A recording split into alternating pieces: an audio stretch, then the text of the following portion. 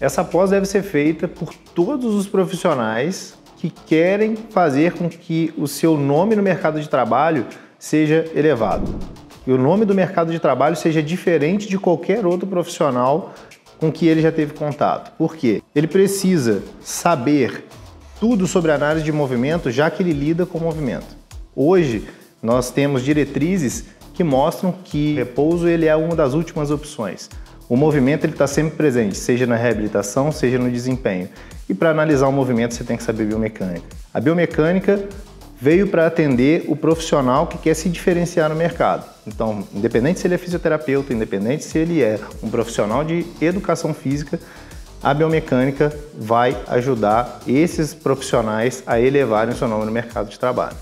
Sou professor Bruno Pasqualini, sou mestre em Ciência da Reabilitação pela Universidade Federal de Juiz de Fora, sou doutorando em Ciência da Reabilitação pela Universidade Federal de Minas Gerais, ex-atleta de taekwondo e de futebol e hoje coordenador do curso de pós-graduação em biomecânica do IESP. Nós sabemos o quanto uma pós-graduação pode elevar a renda de um profissional que trabalha com movimento, como, por exemplo, aspectos relacionados à biomecânica. Nós temos dados da Sociedade Brasileira de Personal Trainer de que apenas 9% dos personagens trainer conseguem ter uma renda acima de 5 mil reais. Apenas 9%. Mas como esse salário, né, como essa renda ela é adquirida?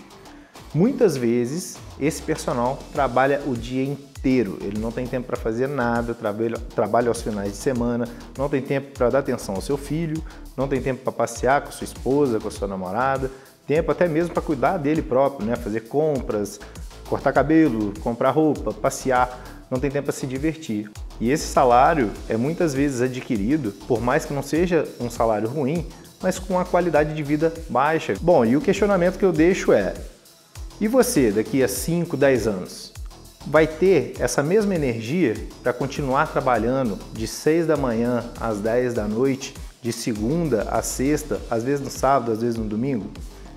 Pensa se esse é o estilo de vida que você quer ter, pensa se essa é a qualidade de vida que você quer ter daqui a alguns anos. Muitas vezes nós saímos da faculdade pensando que nós sabemos tudo, né? Mas cabe que quanto mais nós vamos estudando, nós vamos vendo que isso não é uma verdade, né? Muito pelo contrário. Quanto mais a gente estuda, mais a gente vê a necessidade de aprender. E a biomecânica, ela está diretamente relacionada nos resultados do aluno de personal training, do paciente do fisioterapeuta, como posicionar uma carga, como evitar determinados movimentos para que não ocorra uma determinada lesão. Essa pós ela foi criada para os profissionais que desejam elevar o seu nível de profissionalismo, elevar o seu conhecimento e o seu reconhecimento perante a outros profissionais e também perante aos pacientes e possíveis alunos que ele virá adquirir ao longo do tempo.